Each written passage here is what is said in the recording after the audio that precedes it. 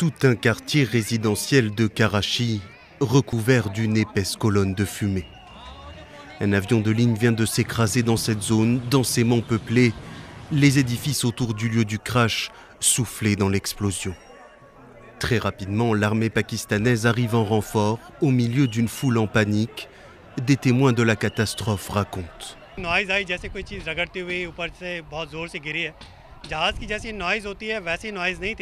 जैसे होता है कि जहाज़ क्रैश होने के करीब हो तो वैसे नॉइज़ होती है हमें फील हुआ था शायद छत के ऊपर से कोई दीवार गिर गई या टंकी वगैरह गिरी है लेकिन जब छत पे आके देखा तो काफ़ी धुआं था और काफ़ी सारी जो है वो, वो बहुत ज़्यादा नॉइज़ भी थी और काफ़ी गहरा धुआं भी था Une centaine de passagers se trouvaient à bord de l'appareil, un avion de la compagnie nationale pakistanaise en provenance de Lahore.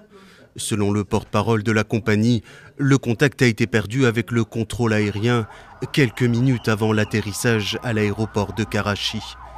L'accident intervient juste avant les célébrations de la fin du ramadan et seulement quelques jours après la reprise des vols commerciaux intérieurs, suspendus pendant plus d'un mois en raison de la pandémie. Au Pakistan, les accidents d'avions et d'hélicoptères sont fréquents, les annulations et retards, la mauvaise gestion de la compagnie aérienne nationale ont fini par ternir sa réputation à l'international.